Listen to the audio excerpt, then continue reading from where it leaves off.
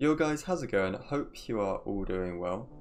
As you saw from the introduction, I've been recently playing around yet again with some structure blocks, at this time looking into how to make some pretty cool illusions in Minecraft. To do this, I looked into a concept called non-Euclidean geometry. That sounds like quite a complicated concept, but it really isn't. All non-Euclidean geometry means is unlike normal geometry where there's a set of rules, for example, uh, angles in a triangle add up to 180 degrees, or like here you can see parallel lines are always the same distance apart from each other. So that's how normal geometry works and that's the stuff that you would have been taught in maths class.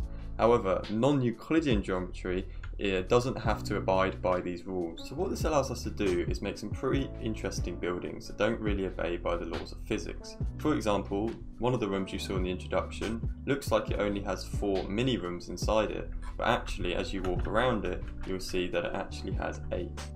So if I walk around this, you'll see that I turn the corner eight times to end up in the original room. So how this is done is, as I said, using structure blocks, but the whole building is split up into quartiles. So each room uh, with their different colours are split up and copied using the structure blocks. As you can see here, I've done it for all of these four, and I've done it for these four as well. So, as you originally enter the building, I have a complete building here which I just paste uh, to begin. It only has one structure block under this pressure plate here. So as I enter, you can see that the blue's on the right and the red is on the left. As I walk through, that initial pressure plate doesn't do anything because the structure block's under this one here. The way the room is designed is you can't ever actually see the colour of the room diagonally to you. So I'm in red. As you remember, this one is blue here. But as I, as I step on this pressure plate here, it activates the structure block underneath that then pastes the brown uh, room over the top of the blue room, replacing it. Uh, as well as this, what it also does is with the brown room, there's another structure block that's pasted in with it. This structure block then is ready to load in the pink room as I step on the pressure plate above it. So let's just say I step on the pressure plate, it essentially does this, which I've just loaded it, which is the other way of doing it. Um, now that it's loaded, you will see that it's loaded yet another structure block as well as the pink room. So you wouldn't have been able to see this, but as you walk around, it's then loaded up the pink room without you being able to see it as the player. When you step on this pressure plate, as you can imagine, it then loads up the black room. This room then loads up another structure block, and so on and so forth, and it keeps doing this until eventually you end up back where you left off in the green room. So yeah, that's pretty much how this works. Um, it's actually really quite simple, even though it looks quite overcomplicated, because it is just uh, a repeated concept that is just done over and over again.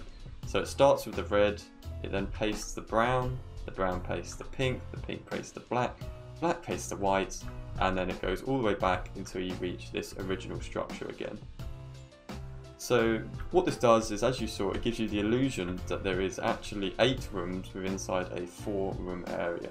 This can actually be repeated if you wanted to do it all the way up. You could do any multiples of four, so 12, 16 rooms. Uh, it's basically just going to run out of colours eventually, but uh, you can just keep going around and around and keep pasting another room and another room and another room. But just for the sake of this tutorial and kind of the showing off of the illusion, I just kept it as eight rooms so it didn't go on for too long and get boring.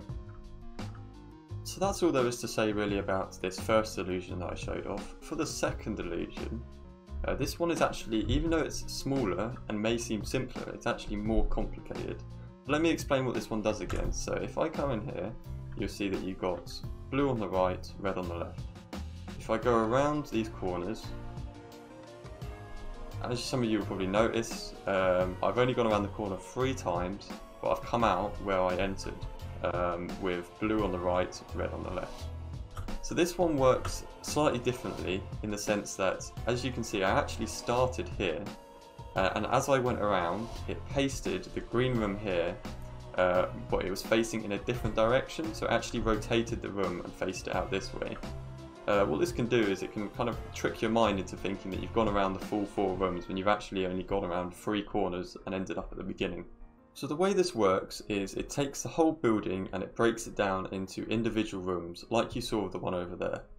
Uh, what's different about this one is that the rotations do have to be different. Uh, as I entered the building, the door was here on the green room, but then as I exited, the door was here.